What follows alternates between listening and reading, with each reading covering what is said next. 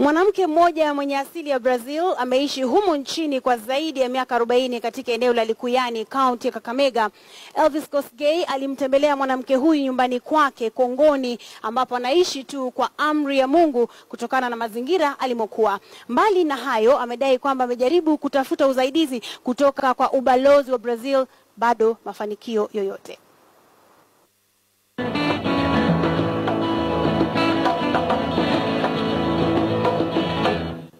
Taratibu chungu wanatambaa kwenye kiporo hiki cha jana ambacho kitaliwa kwa mboga hizi zilizokotwa njiani. nakula ugali. Bi huyu Maria Antonio Barbosa dos Santos au kipenda Brazil, ndio maisha haya ya Mungu au tuseme aijambo ya Kiswahili. Kwa karibu utagundua jinsi mikunjo na mapeto yalivyouchokoza uso wake usokuwa na hatia na kuupoteza uzuri wa ujana wake.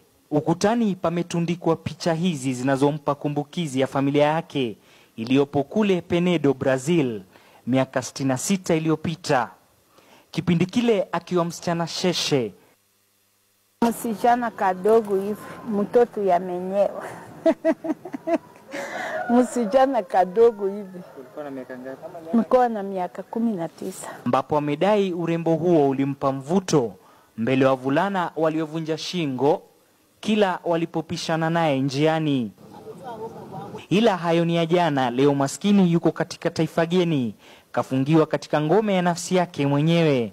Maskini hana afya nzuri, umaskini umepiga hema hapa. Anameza mate machungu, kisha anatupa kisa chake. Nakucha na msungu umochaman ukuwa na watoto waine mapacha wawili na hizi mapacha kuwa na mezi mbili. Baada ya kutofautiana na Mjerumani kufuatia kile anachokitaja kuwa aliteswa kwa kumtumia kama yaya, moyo wake uliota mapenzi na huyu bwana ambaye alikuwa kijakazi wa yule Mjerumani. Maria anadai huyu bwana alimtaka aingie kwenye gereza liitwalo ndoa ili awe mwokozi wake. Sisi nafanya 75 76, msungu anaanza kuchapachapa mimi Wakatia hili na lile ili kucheza karata ya maisha na kutorokea Kawangware, Nairobi, baadaye kufanikiwa kupata watoto wawili miaka 40 iliyopita. Licha ya kudungiwa shindano ya kudhibiti uzazi na bwenyenye yule, ila mtoto mmoja alifariki kutokana na mazingira tatanishi walimokuwa wakiishi. Sasa anafukuza mzee yangu kwa kazi. Kufukuza mzee yangu kwa kazi, mimi nafanya nini? Mimi nafata Baadaye wakaugura mji wa Nairobi mwaka elfu mbili wakahamia hapa Kongoni, Likuyani, kaunti ya Kakamega. Mumewe alipogundua na virusi vya ukimwi akapata kiharusi, yani stroke, ambao umefanya mwili wake kupooza hadi leo. Waluya ndugu yake anakufa na ukimwi, na yeye anachukua bibia bibi yake. Baada ya kugundua ana virusi vya HIV, ugonjwa wa kisukari, vidonda vya tumbo na ugonjwa wa tumbo unaotishia kuvunja miguu yake, Maria aliamua kujipa faraja ya nafsi.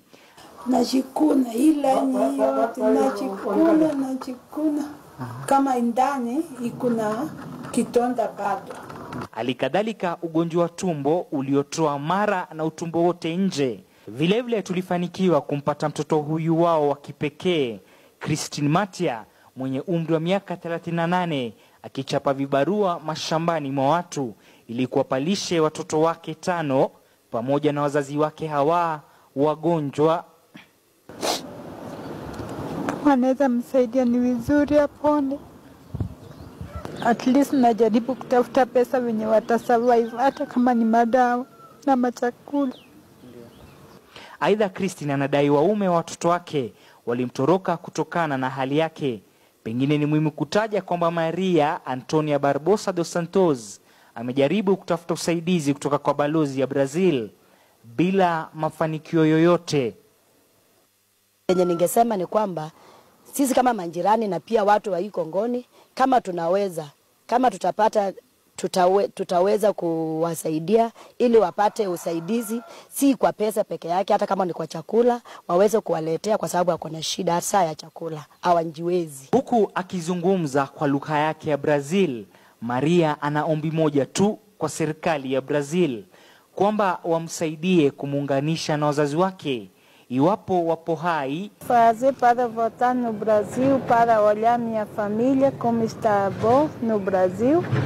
Eu quero chegar no Brasil, mas eu quero voltar para aqui, porque aqui Wanasema kwamba jitihada iondoi kudura, na kwa kuwa Mwenyezi Mungu amtupi mja wake, basi familia hii ina matumaini makubwa kwamba itafika siku njema ambapo mambo yatawatengenea na hata kupata usaidizi kutoka kwa wadau wanaohusika. Elvis Kosgei, KTN leo katika eneo la Kongoni, kaunti ya Kakamega.